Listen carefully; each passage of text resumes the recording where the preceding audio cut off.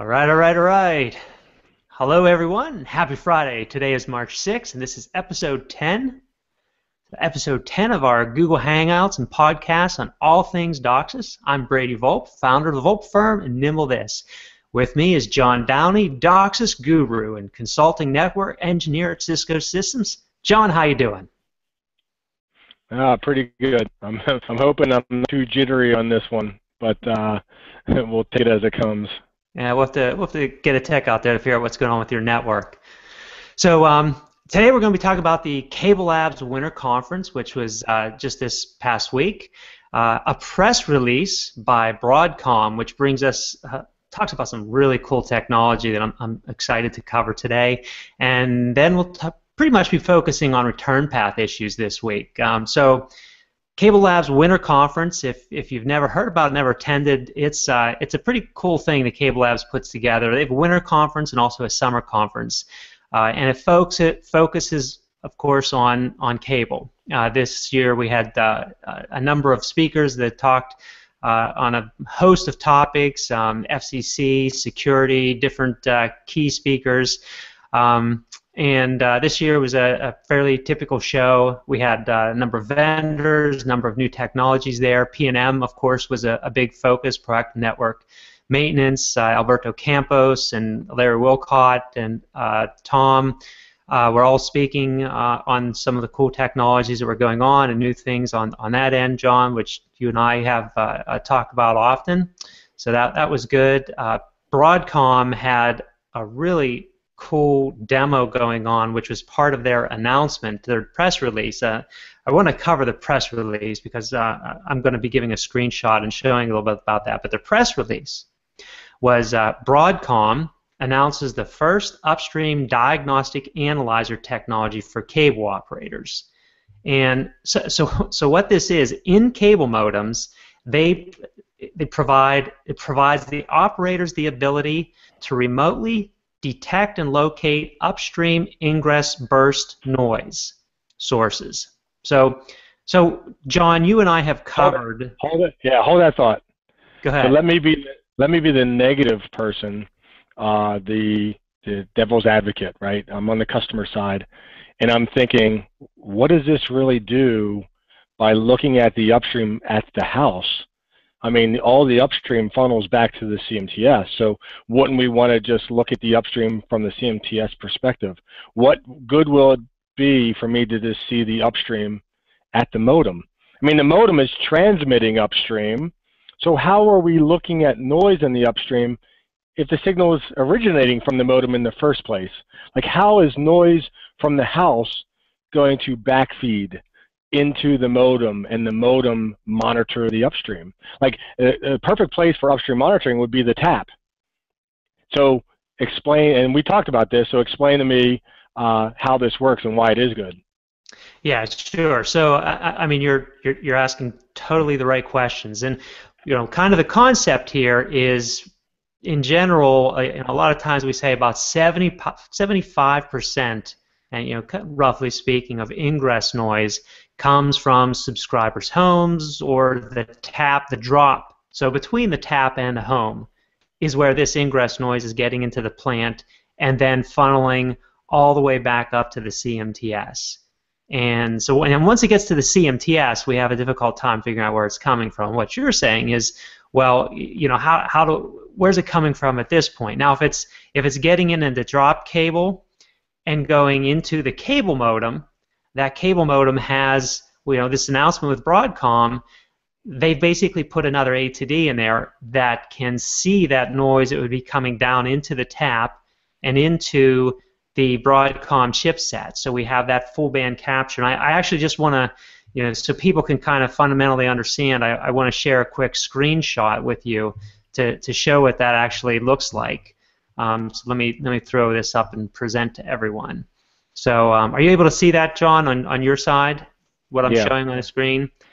Can so, you zoom it in bigger, or maybe I have to zoom yeah, it in bigger yeah, on my I, own side? I think I can. I don't. Let me see if I can zoom it in uh, on my side here. Um, there you go. How's that look? Yeah, that's better. Yeah. So I mean, now so we've seen full band capture before. Full band capture on the cable modem normally goes from you know like 54 or 90 megahertz up to a gigahertz. And we can see all the signals going into the subscriber's home from the tap. And that's, that's really cool. We can do a lot of testing.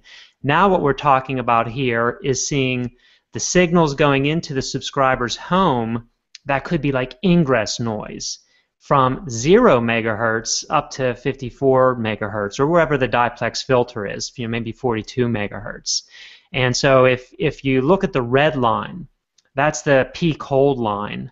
Um, and and so you can see where the DOCSIS channel is transmitting. That's where the red line goes up to you know the sort of the top of the chart.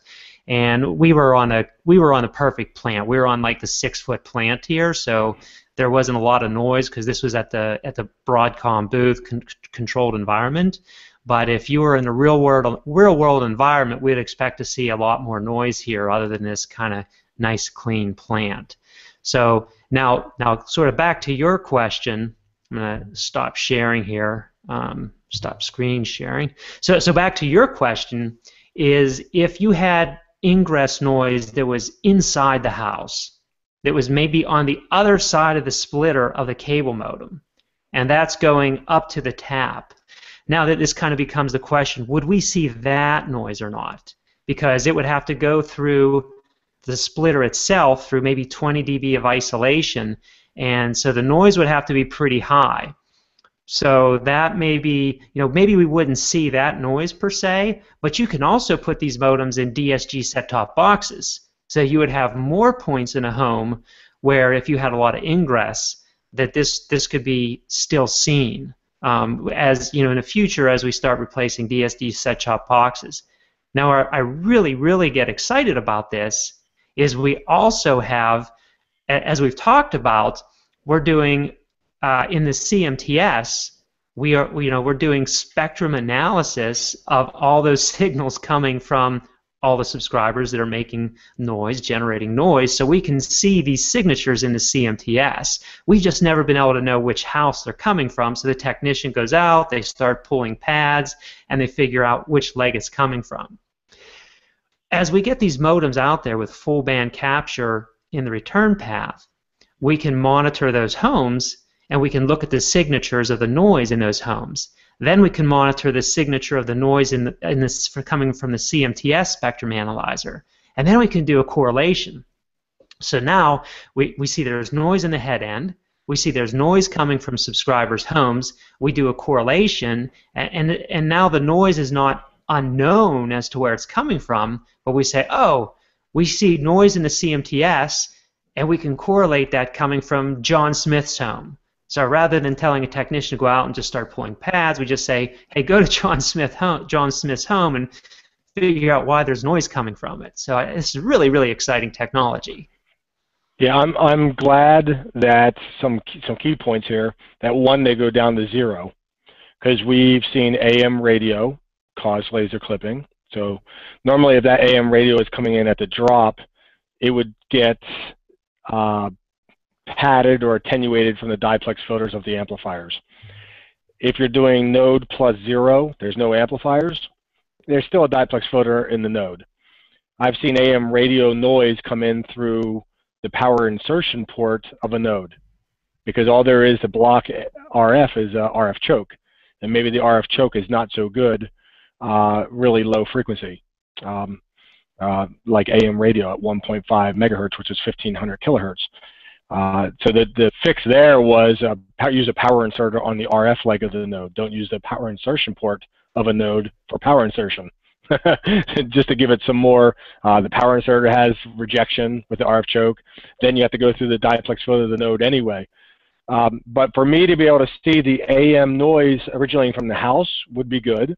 Uh, there's a shortwave radio at 3.5 megahertz. There's WWV, which is at 2.5 or so megahertz, which is the atomic clock. Uh, we might be able to pick that up with this from 0 to 54. I believe the polling of the CMTS MIB doesn't go down to 0. I believe it's at it's 5 to 54. I don't know that I don't think we can poll down to 0 on the CMTS MIB for you know the stuff you're talking about. Yeah, um, you're, you're, absolutely correct on that. It, it, does unfortunately stop at five, so we We, we can see noise on the CMTS down to five, but we, we can't go to zero. So that's actually a, a good a good thing that we should uh, we should we should talk about uh, in the InGeNeOs working group, putting in an ECR to lower that frequency to zero because the cable modem, the, the MIB for the cable modem actually goes down to zero. And, and this is wh- why I was working with Broadcom in their booth because they wanted to make sure that, that uh, my my proactive network maintenance application supported the modem because they used the standard MIB for full band capture. And it went all the way down to zero. I had to change one line of code in my in my application to go all to support their full band capture modem. And, and that was yeah. just to change my stop frequency from 54 megahertz to go down to zero megahertz, and, and it worked spectacularly.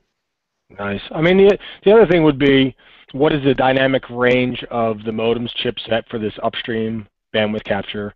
If I have a, a noise in the house that's say at plus 10, but the isolation of the splitter is say 20, uh, it's going to hit the modem, go through the modem's diplex voder, feed the A to D on the low side of the diplex filter to do this upstream bandwidth capture at maybe minus 10. Um, the, you would think that the dynamic range of this capture should be at least you know minus 20, minus 30. So I would still expect to be able to see ingress in the house overcoming uh, isolation and still showing up, at least enough for me to see it, right? Yeah, I, I, can tell you it's minus 30 dBmV just based on the, the, or the noise floor that we were seeing is minus 30 dBmV based on the system noise floor that we are looking at. I, I don't know if it goes any lower than that. And yeah. uh, you know, I, I had a sample of one. It you know it was it was what we had on the floor. So, but minus 30 dBmV is still still pretty good. So well, I, you think about it. But if you're thinking about it, if you're looking at the noise at the house, you're not seeing system noise at all. You're just seeing the noise for the modem. Yep. Right? I mean, you have not accumulated amplifiers noise. There's no additive white Gaussian noise from amplifiers. It's just that modem's noise figure and noise coming from that house or, you know, down the drop line and backfeeding and things like that. Right, but a, a modem in a house is going to be transmitting between probably at the lowest maybe 25 dBmV and, and as high as 50 to sometimes 55, 60 dBmV. Yeah. So if we can measure if we can measure signals as low as minus 30 dBmV, we should be able to pick up some some. Uh, we should be able to pick up a lot of ingress noise coming from the house. Yeah, yeah. It's just, it's very interesting. I mean, I never really thought about you know, the upstream spectrum capture at the house, but it does make a lot of sense. I mean, it would allow me to correlate problems in the head end and quickly pinpoint where may, it might be coming from. Yep. You know, it could be could be that customer happens to be a ham radio operator at 28 megahertz. And so, you know, you know can't pick on the ham radio operators. We're going to catch flack. we can bust on Ron Hranac as much as we want. Yeah, well, he, he, him we can pick on, absolutely. but uh, it, does, I think, hold a lot of uh, credence. Uh, I guess is a good word for it. Um, just one more tool in the toolbox, right? Yeah, yeah. So I mean, I think this is this is really exciting technology. It just adds, as you said, tools to the proactive network maintenance toolbox. I think once we start to get those modems out there, we're going to see a. We're, we're, it's just going to enable our ability to go out and troubleshoot more effectively and faster uh, because you know the, the less that a technician has to go out and pull pads from amplifiers and you know which which can take down service to do that. Um, and and we can just tell you know and they're just able to know okay I have to go to this subscriber's house to eliminate the noise. That that's just remarkably powerful. So I'm super super excited about this capability. Hey I got another case. Um, this actually comes this will come in handy. I'm, I'm thinking in my head. Um, I don't know where else I would think beside my head. uh, I, I, have an idea, but I'm not going to bring it up. I have a customer that has a, a DPON RFOG set up, and the way the DPON ONTs work is they're not timed to DOCSIS. They just look for energy, and when the energy comes from the house, whether it be a DOCSIS modem, a set-top mo- a set-top box, noise, ingress, the node, if you will, turns on. So the lasers are turning on and off with internal filters very fast uh, to line up with the DOCSIS signal, but they also can turn on with noise. Now the Cisco ONTs have a squelch feature that says when the noise comes in, it seems to be, I'm just calling it noise, it could be any energy, and it seems to be on more than 10 to 20 milliseconds. Well, we know that's not DOCSIS because DOCSIS comes in spurts. DOCSIS might only be 5 milliseconds long, maybe only 2 milliseconds for each burst. So if we see something really long, we can squelch the laser, and if it keeps happening, we'll turn the laser off for a longer time. So that helps with houses that have noise. Now, with the modem you're talking about, I might be able to pinpoint why certain lasers are coming on more often than others because I can see the modem is actually indicating upstream noise. So you're going, you're going to see the noise transmitting also, right? You're going to you're going to see noise from the modem. You're, you can also see the noise transmitting and correlate that. You can sit there and monitor that modem the whole time. Yeah. So I, I could be, I could be. Um, how do I want to say? That's a good point too. Is can you? Well, I mean, anytime you monitor the modem via SNMP layer three, it's going to turn the lasers back on just to monitor. But my point is, could I be getting OBI, optical beat interference, because one house is turning on more than it should be?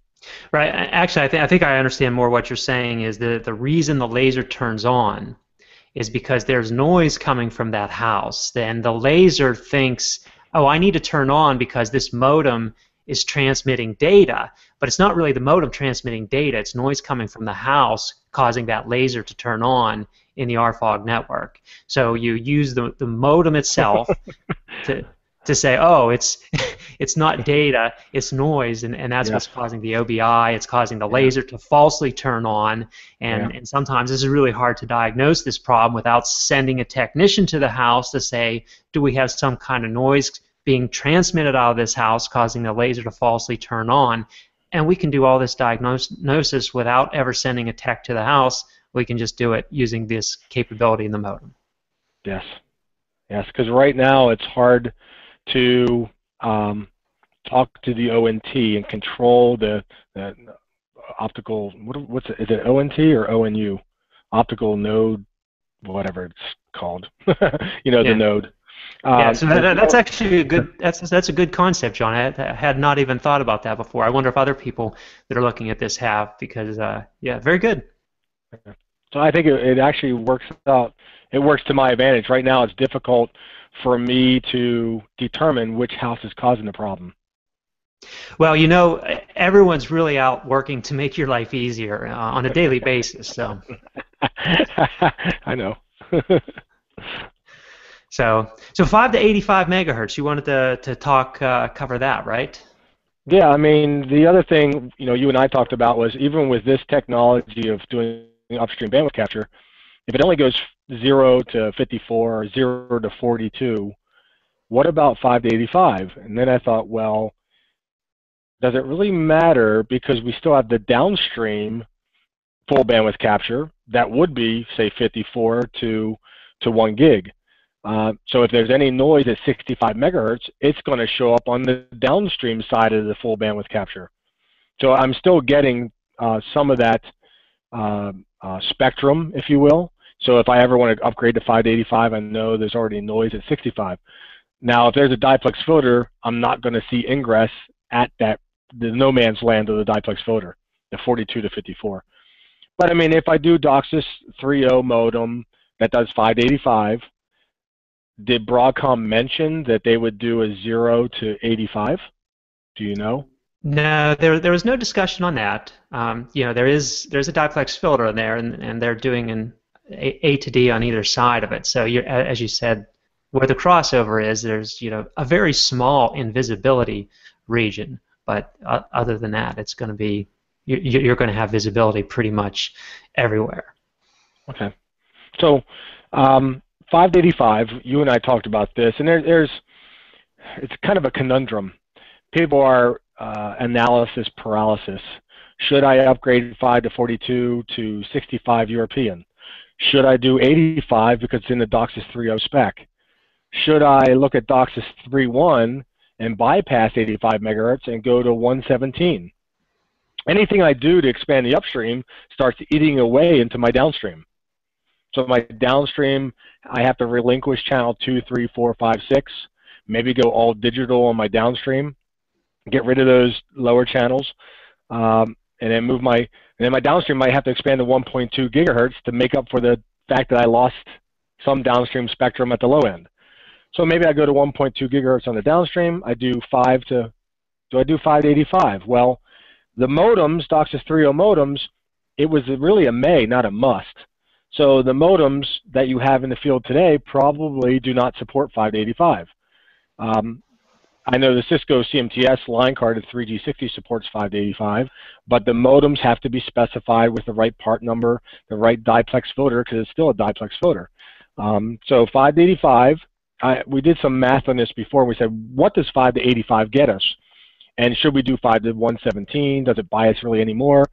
And the 5 to 85 doubles basically our upstream spectrum. We could do DOCSIS 3.1. We could do DOCSIS 3.0. They time share the spectrum, so it can share the spectrum, kind of bursty. 3.0 modem can burst when it wants to, and a 3.1 could burst with maybe 5 to 85 mega. That's 80 megahertz of spectrum, and potentially offer a uh, 300 megabit per second speed on the upstream. Uh, you know, how much do I really need to support one gig downstream? Well, it might be 50 meg upstream, it might be 100 meg upstream.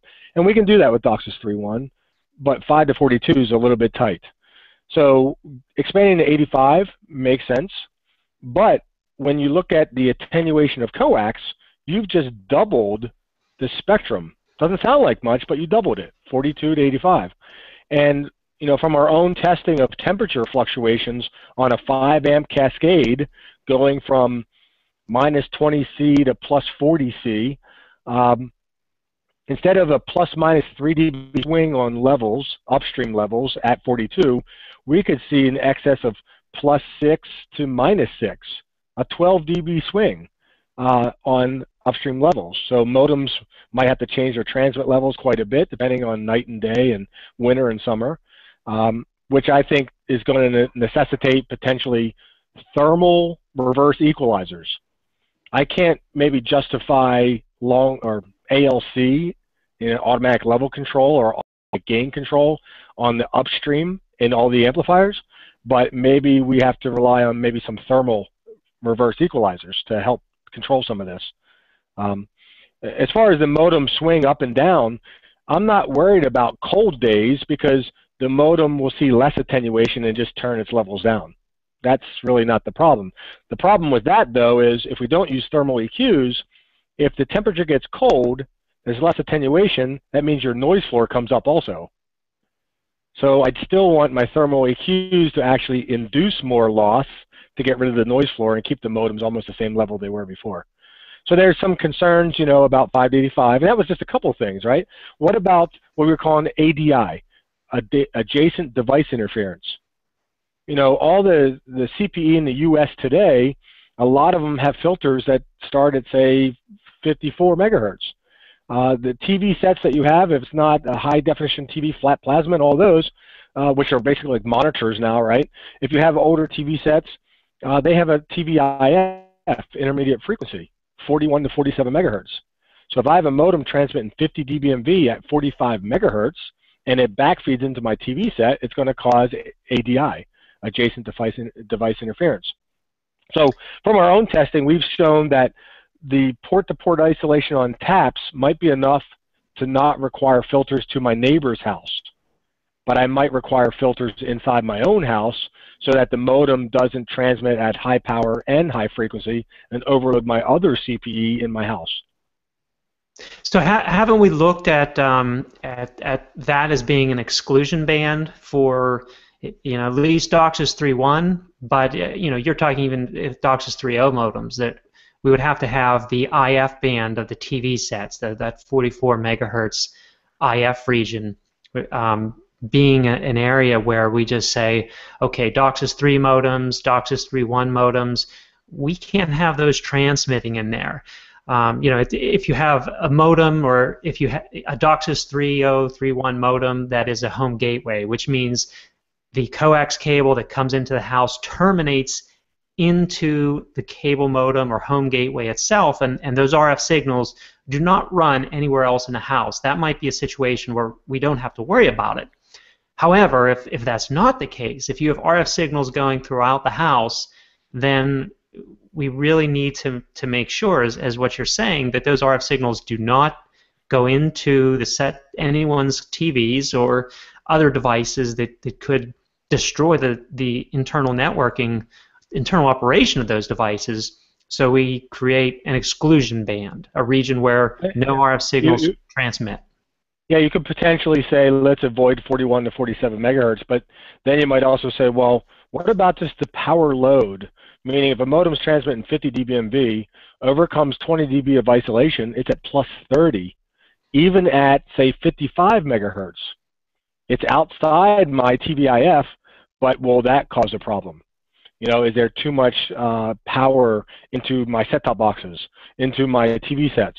Um, so it might even require that I just filter out every above 42 um, on the splitter that that separates my TV, what do you want to call it, my house network versus my high-speed data network. So I mean, this is the same concept of like you know putting too many oh. RF channels into a cable modem, even though it's not the DOCSIS cable modem channel, it's just too much RF energy. You're overdriving it. So and you're yeah. saying it's the same for a TV even though it's not centered at the IF frequency, if you put too much RF energy in, it's still too much RF energy. Yeah. Yeah, who's who's to say you know we don't come in at 55 megahertz and the second harmonic isn't created at 110? Um, you know, there there's who knows what's really going to happen with some of these devices. Uh, and, and those were a couple little things. The other one was if I do 5 to 85 megahertz and you decide to do DOCSIS 3.0 four-channel upstream bonding, and some of your modems support 5 to 85, but only do four-channel bonding. Other other modems do 5 to 85, but eight-channel upstream bonding. Other modems have a built-in filter of 5 to 42. So now you have to make DOCSIS restricted load balance groups to steer the modems to the proper bonding group, because if they lock on to one upstream frequency and load balance tries to move them to the other group, they might not work because their internal filter doesn't allow it to. Wouldn't they go into a partial mode if you know, if say they tried to go to that other load, that other group? Um, they would just lock to the, or, or they would range and register to the uh, the upstreams that they were able to, and then go into partial mode to the upstreams that they were not able to. So, so let's suppose your your second four-channel bonding group, the first upstream channel was at 40 megahertz a normal DOCSIS 3.0 modem would be able to tune 40 megahertz, but he would try to then say, let's bond 40, 46.4, 52.8, and uh, 58 point whatever, you know, 6.4 megahertz apart. And he wouldn't be able to do it because the internal filter wouldn't allow it. So he didn't even register fully to even be considered partial mode. So what could happen is he could end up just dropping to uh, it might be W online for downstream bonding, but his upstream might be just single channel. Right. Here's a case where I'm better off just steering him to the first four frequencies so he bonds with the first four frequencies. Right, because in single channel, his speeds are going to be so limited in the upstream, it's probably going to limit his downstream speeds at that point. Correct. And he's going to starve everybody else out on that same upstream channel. Yeah. And then and then he's going to affect load balancing for 2.0 modems. Sure, that makes sense. I'd never considered that before. So yeah, so 5 to 85 becomes a, a big challenge, uh, and and the the cost, just the the the, the capex and opex cost associated with doing the migration of 5 to 85 megahertz is is enormous. One of the things that I struggle with, and and is if you're going to do an expansion, if you're going to do a migration to 5 to 85 megahertz, it, it's really hard for me to imagine that you wouldn't go beyond 5 to 85 megahertz because you're you're upgrading your nodes, you're upgrading your amplifiers, um, and you're rebalancing your plant. That's a huge investment. I agree. So then the question comes: Should I bypass 585 and go 5 to 117? Uh, if I do, do I have to worry about that attenuation issue I already brought up? It's even worse, right? You're going to 117. Do I, you know, 585 made sense from the beginning because it blocked out a, FM radio, FM radio 88 to 108. So that's like perfect for a DOCSIS 3.0 split of 585 and downstream we used to say 105. I think we're now saying 102 because legacy set-top boxes have a control channel that can set at I think 104 or 103 megahertz. So we had to make our dielectric filter just a little bit tighter. So instead of 85 to 105, we had to pull the high side down a little bit so downstream legacy set-top boxes could still talk. And so, um, so you might see an 85-102 split now.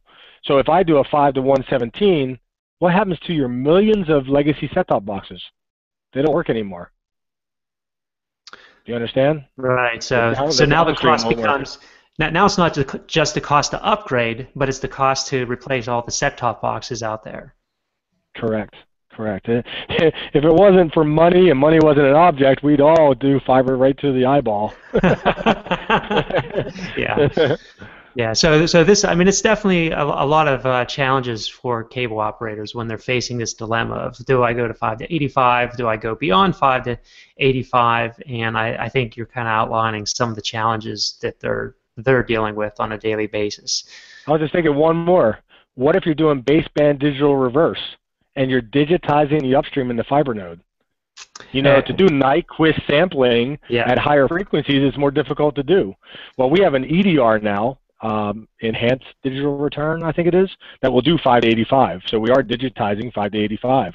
But to go to 117 makes it even more difficult. Oh, the cost for an analog to digital converter to do 117 megahertz has got to be astronomical. If if it yeah. exists, I'm sure it exists, but it's, yeah. it's not yeah money not right? possible to do in a node. It's yeah. just money. it's not your money. It's not my money. Yeah. the other thing I look at is what if we do remote PHY what if we take the frog, you know, the, the upstream chipset and the downstream chipset and put it in the node? Well, if I put it closer to the customer out in the field, 5 to 85 megahertz looks pretty compelling. I mean, it's doing it right there on maybe four different legs. So I'm doing 5 to 85 right at four different legs of the node, and I can offer a pretty decent speed on uh, segmented four ways at the node and I'm doing it right at the node. And because it's already digitized, now my digital link is not doing baseband digital return where I'm sampling and running it back at digital, then then turning it back to analog. I'm doing it, I'm demodding it all right there in the field. And then I'm running an easy one to two gig link back to my head end, back to my CMTS. Yeah, and that, I mean, there's a lot of companies that are looking at that. It solves a lot of problems with the analog laser in the return, which we all deal with laser clipping at one time or another. So there's a lot of good reasons for doing that. Yep. So, okay. Anything else you want to cover today? Uh, I I don't know. 585 upstream. It seems like this topic will never go away. Yeah, yeah. So you know, one one of the other things that was discussed that was uh, pretty interesting at, at the Cable Labs Winter Conference was security. There was a, a, really good session on security. You and I have talked about security, so I think the next uh, uh, uh, hangout that we're going to do, I think we should cover security. So we, have talked about that, and uh, we'll schedule that probably for in the next month. Um, I would like to thank Cable Labs. They did a great job at uh, this this year's Winter Conference, and I'd also like to thank Broadcom. Um, uh, they we, we had a great uh, display doing uh, the return path uh, upstream spectrum analyzer and their modem, and had, a, had a great booth, great turnout. So uh, the conference was great, and, and everything was good there. So uh, John, thank you for your time today and your your input on on the Hangout. Good talking to you again. You too. All right. All we'll right. Talk to you later. Bye all. Bye bye.